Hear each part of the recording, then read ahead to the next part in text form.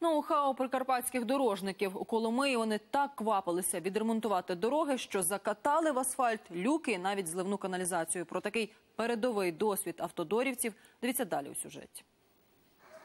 Капітальний ремонт вулиці Старицького в Коломиї почали за українською традицією. Серед зими саме напередодні нового року поспішали освоїти кошти. Перед новим роком сипали на болото, е, шутрували і зразу вночі. Це робилося вночі, зразу покривали асфальтом. Ну смішно, просто е, напевно треба було гроші закатати, і так вони зробили скоренько. Закатавши асфальт поверх болота, будівельники поїхали. А пенсіонерці Марії Іванюк, щоб звільнити проїзд до власного будинку від бетонних блоків і будівельного сміття, довелося наймати робітників власним коштом.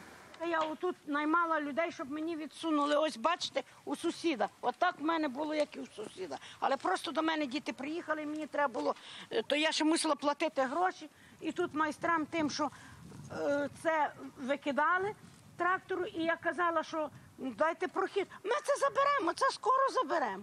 Розриті пішохідні доріжки це ще квіточки. Будівельники примудрилися поховати під асфальтом всі каналізаційні люки і навіть ливнівку. Тієї сторони паралельно мала би бути лівнева каналізація. Є дирка заложена каменем. І де її чистити люків ми не бачимо. Тобто вона ж відповідно мали бути на цій дорозі люки, які би мали обслуговувати і каналізацію, і водопровід. Немає. Я думаю, що вони закатані під ас- асфальтом.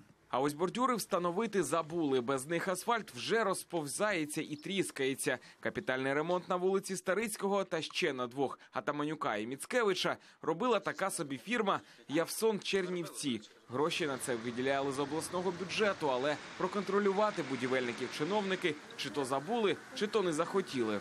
Я дуже слабо вірю в те, щоб робили такі речі, щоб клали е, асфальт безпосередньо в болото. Реагували в телефонному режимі, безпосередньо, безпосередньо зв'язувалися з керівником і наголошували йому на тому, щоб він вів і проводив роботи якісно. Чиновник запевняє, фірма Явсон Чернівці обов'язково усуне недоробки, але чи вистачить грошей? Адже щоб відремонтувати лише пів кілометра дороги на трьох вулицях, чудо-будівельники витратили 90% від кошторису, а це понад 3,5 мільйони гривень. Олег Решетняк, Жанна Дучак, Зіновій Автонас, телеканал Інтер, Івано-Франківська область.